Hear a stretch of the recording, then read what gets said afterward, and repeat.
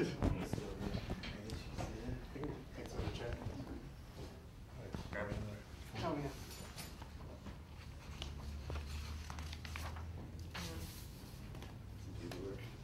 Yeah, there's always paperwork involved in everything.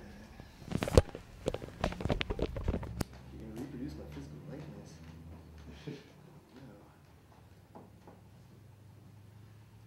So is this for a uh, company, a university project? Or? It's for my master's thesis, Oh, okay. so, That's awesome. Where do you go to school? at the University of North Texas. In I Mean think we saw that on the way in. Isn't that the? It's up in Denton. Yeah, yeah. Isn't that from the I think we movie took uh, 35 long way. Unnecessary Roughness? I don't know, is it? Pretty it? sure it is. Green. Maybe. Uh, Just came down here last year from Minnesota. so we were just there. Minnesota a few days ago. Yeah. Minneapolis. Yeah. Yeah, that's where I was living. Yeah, it's a strange town. Well, we, we were there on a, on Sunday in the business district, so it was pretty much probably like that new movie, 28 Days. There's Nobody on the streets, just us, you know. Hello! Are you James K. Lambert? Yeah. Do-do-do.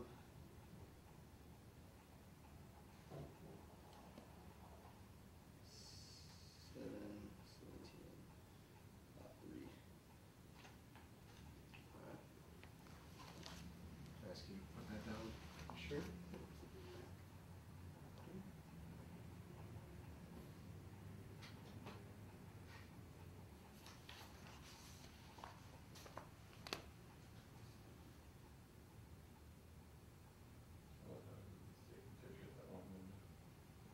Yeah, there's constant picture taken out there of the same things. Uh, get the picture of the window. Now let's go to the X. Oh yeah, I wonder how many pictures of that window and how many pictures of that X have been taken.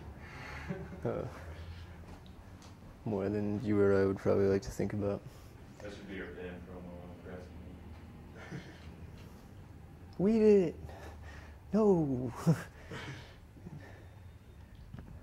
Conceptually possible. I was only negative 16, something like that when it happened.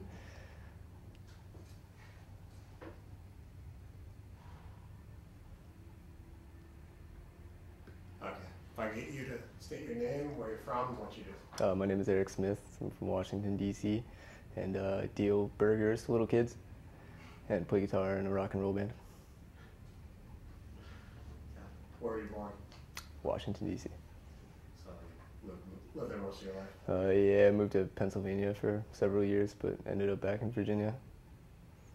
How did you start playing in this band? The I had a going away party and uh, I was uh, too drunk to drive, so he gave me a ride home and sort of stayed. And we were bored, so we started a band. How long ago was that? Uh, about a year ago. What's the band again? the Catalyst. You have any uh, political beliefs? Any political beliefs? Yeah. Of course I do. Like, yeah, in particular, Yeah, what do you believe? um, uh, I don't know. I wouldn't even know where to begin. What would you classify yourself as? Uh, it's uh, pretty left wing, I guess. Pretty left of center.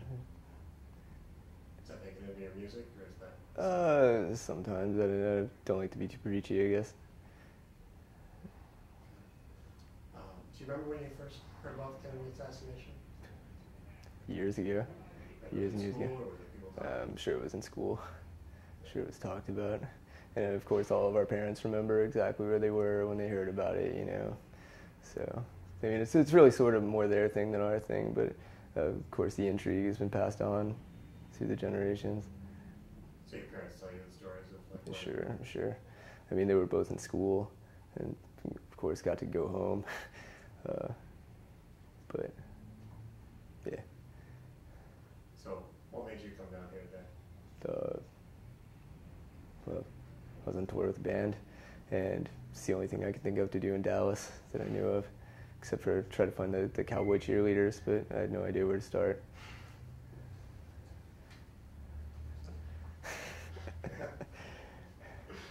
Oh. So what do you think happened Kennedy was shot? Uh, I think uh, uh, Oswald killed Kennedy with a magic bullet. somebody had to say it, I guess.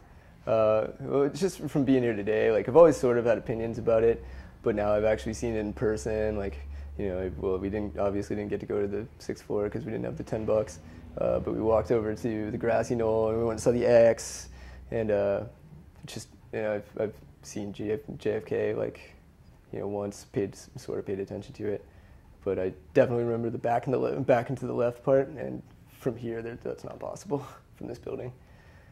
Uh, I mean, he did get shot in the shoulder and fall forward, and then get shot in the head and fall backwards, and that's not possible from here. That's that was from two different directions. So you, have you like read anything else or seen anything else on it? Oh, I'm sure I've seen a bunch of stuff on like Discovery Channel and History Channel, you know, just documentaries, what have you. I've seen the Zapruder film, of course, a, a million times. Uh, usually like one frame every second, you know, brains flying out everywhere, stuff like that.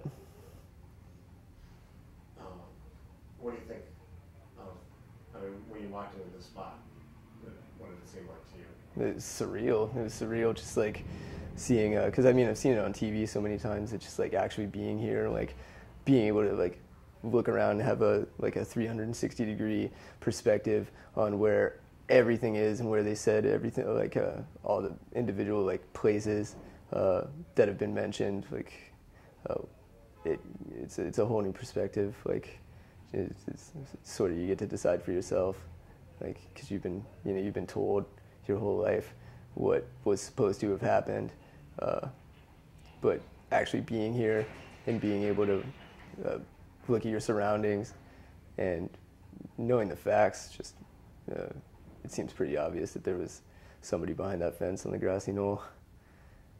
And of course, they could have gotten away pretty easily. I mean, what's back there? A parking lot and some train tracks, right? And they weren't looking for him anyway. So, uh, what do you think uh, the future holds for the plaza? For, well, I'm sure it's going to be uh, the generations. For generations after this, people are going to be coming here just because uh, there's so much mystery surrounding the assassination that, of course, everyone's going to want to come and see it for themselves. And what else is there to do in Dallas, really, except find the cowboy cheerleaders? Uh, anything else you want to add? Yeah, nothing I can think of. Okay. I appreciate your time. No problem. I don't think I can do anything. Do you guys have any leads on the cowboy cheerleaders?